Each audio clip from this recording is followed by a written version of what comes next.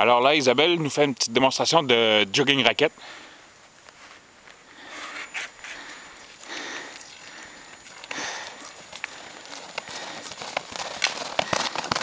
Par l'arrière.